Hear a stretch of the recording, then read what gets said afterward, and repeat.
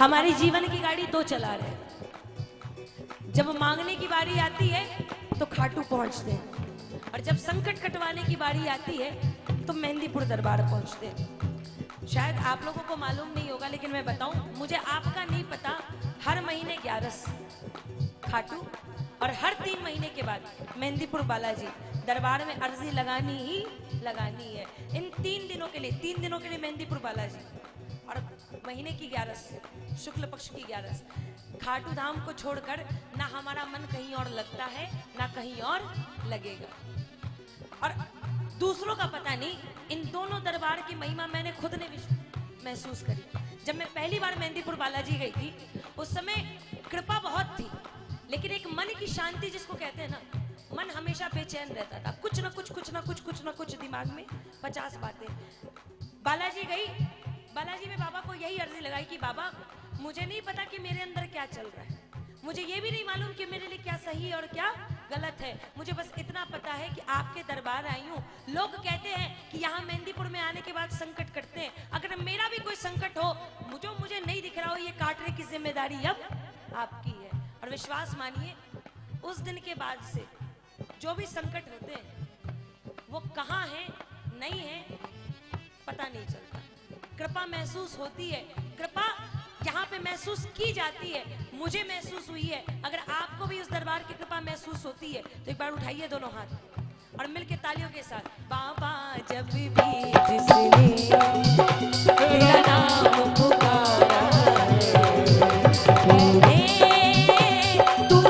उस जीवन को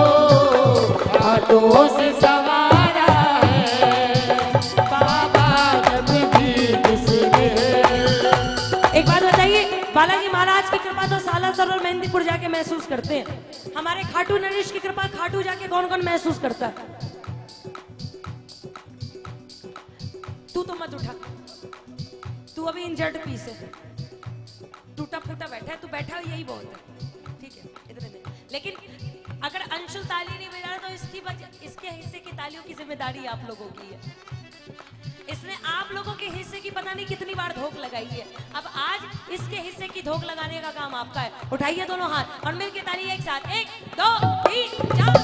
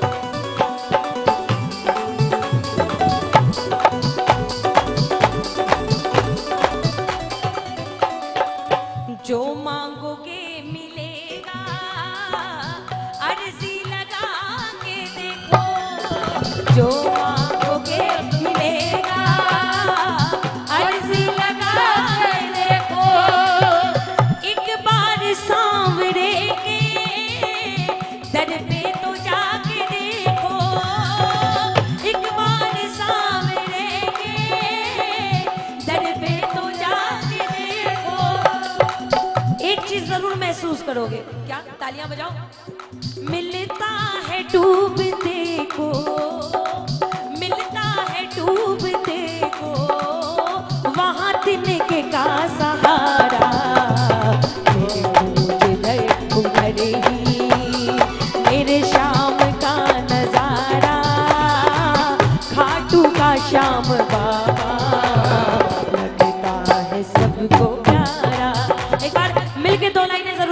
साथ। आजा आजा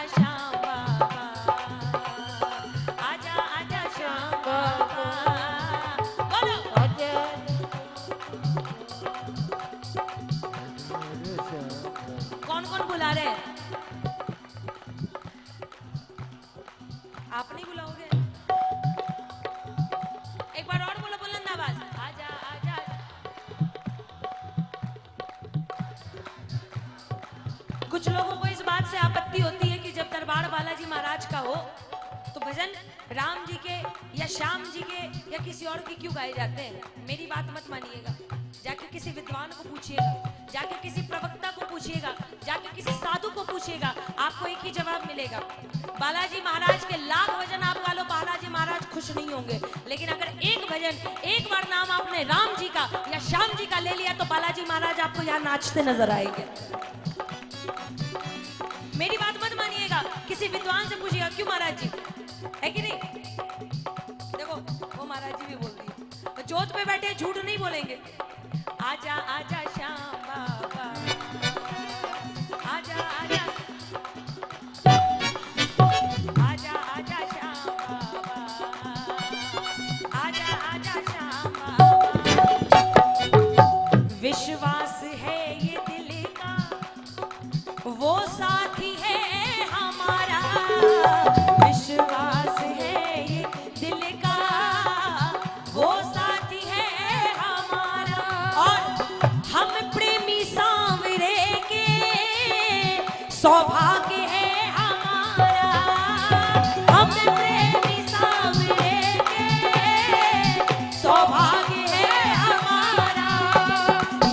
श्याम प्रेमी है। वो मिलके बोलना है एक साथ। हरे श्याम प्रेमी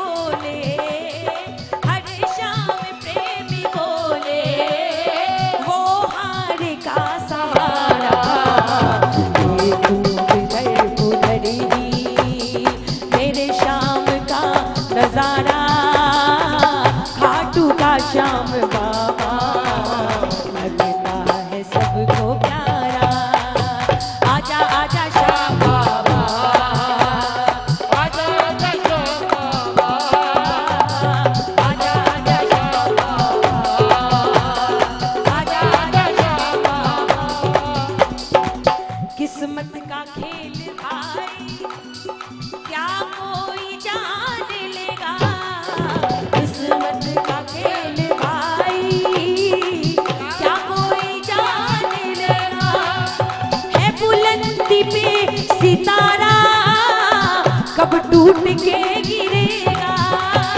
है बुलंदी पे सितारा। कब टूट के गिरेगा? गिरते को थाम लेता। गिरते को थाम लेता। चमका दे फिर सितारा।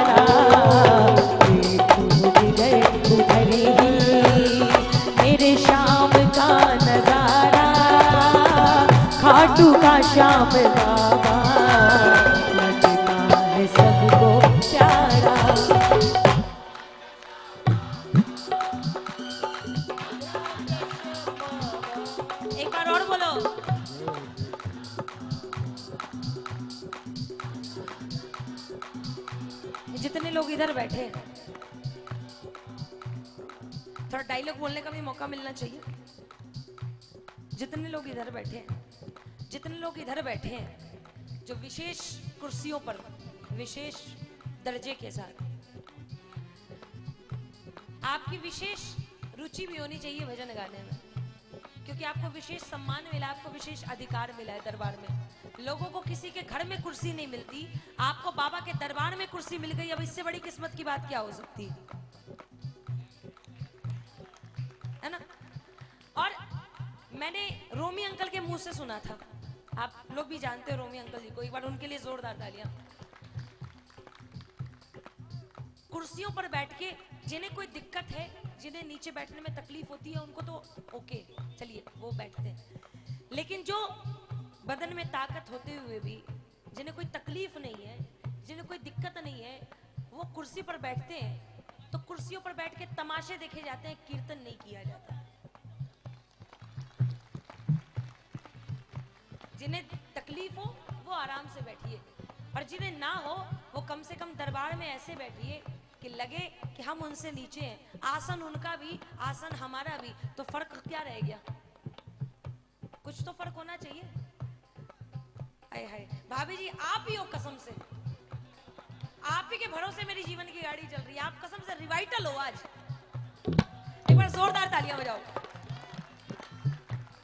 आपके कमर में कोई तकलीफ़ है?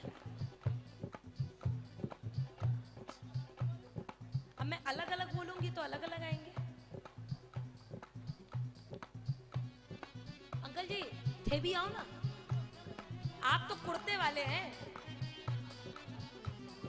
आप नहीं है? अच्छा एक बार इन सोफों को खाली करके देखिए।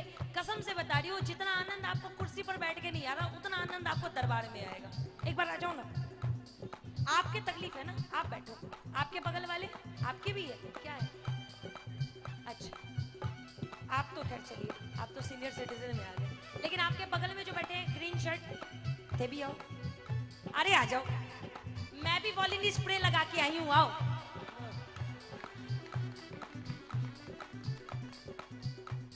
मतलब थोड़ा सा कमर में दर्द हो गया तो यह कुर्सी नहीं छूटेगी। मैं जो टूटे हुए हाथ के साथ पाँच कीर्तन किए और ज़्यादा नहीं, अभी पिछले महीने।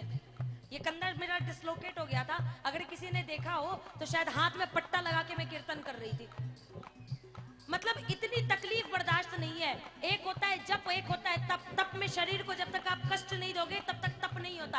आज तप करने का समय आया है तो अपने आप को वो तकलीफ़ देना आप लोग को बुरा लग रहा है। हाँ ये तो टूटा फूटा बैठा है, देखो। पता नहीं कहाँ कहाँ से टूटा है। ब्लूफेन आठ सौ तो मैंने दी है इसको। ये भी दरबार में अगर नीचे बैठ के भावना तो होगी ना। हाय हाय, अंकल जी को बात पसंद आ गई, एक बार जोरदार तालियाँ बजा दो।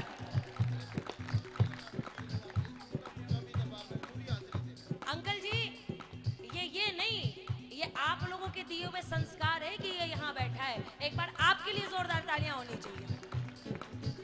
क्योंकि आजकल